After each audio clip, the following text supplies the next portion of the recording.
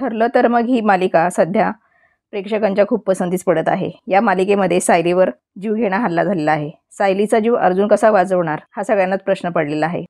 ठरलं तर मग मालिकेला प्रेक्षकांच्या अल्पावधीतच मोठ्या प्रमाणात प्रतिसाद मिळत आहे. सायली अर्जुनचं कॉन्ट्रॅक्ट लग्न मालिकेत येणारे ट्विस्ट त्यामुळे कित्येक महिने ही मालिका टी आर पीच्या शर्यतीत आघाडीवर आहे. नुकत्याच प्रसारित झालेल्या गणेश उत्सव विसर्जनाच्या भागात सायलीवर मैपत आणि नागराज यांच्या गुंडांनी हल्ला केल्याचं दाखवण्यात आलं. आता आगामी भागामध्ये मालिकेच्या कथानकात काय ट्विस्ट येणार हे जाणून घेऊया. मालिकेत गेल्या काही भागात गणपती बाप्पाच्या विसर्जन मिरवणुकीत सायलीवर महिपत आणि नागराजने गुंड पाठवून चाकू हल्ला केला. तेव्हा सायली जोरात अर्जुनाला हाका मारते. पोटावर वार केल्यावर ती बेशुद्ध होऊन खाली पडते. सायलीवर पुढचा वार होण्याच्या आधी अर्जुन तिथे पोहोचतो आणि सायलीला सावरतो.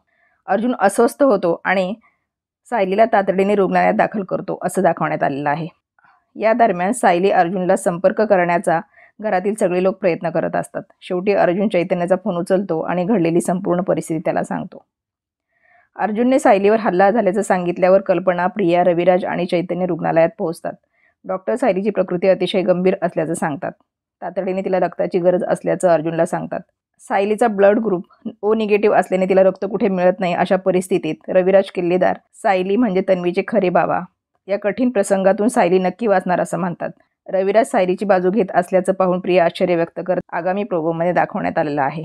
सायली हीच खरी तन्वी असल्याचं सत्य अद्याप मालिकेत कोणालाच माहीत नाही.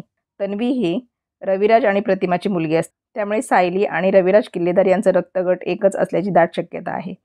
हा रक्तगट दुर्मिळ असतो. त्यामुळे आता त्याचा जीव धोक्यात आला आहे. या सगळ्या गोंधळादरम्यान रविराजला आपल्या मुलीची म्हणजे तन्वीची आठवण येणार आहे.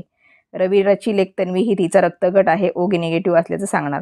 मात्र प्रिया खरी तन्वी नसल्याने आता तिच्या पायाखालची जमीन सरकणार आहे. आता जर रक्तगट तपासला गेला तर तिचं पितळ उघडं पडणार आहे. दुसरीकडे योगायोगाने प्रतिमा अर्थात तन्वीची खरी आहे हॉस्पिटलमध्ये पोहोचणार आहे. यामुळे सायलीसाठी आवश्यक असलेला रक्तगट लगेच मिळणार. सायली हीच खरी तन्वी आहे त्यामुळे तिचा रक्तगट हा तिच्या आईशी मॅचिंग आहे. त्यामुळे आता हॉस्पिटलमध्ये पोहोचलेली प्रतिमा सायलीसाठी रक्तदान करणार आहे.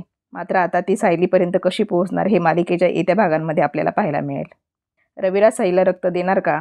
त्यांचा रक्तगट एकच असेल का? अर्जुन सायलीचा जीव कसा वाचवणार? हे प्रश्न येत्या भागात पाहायला मिळणार आहेत.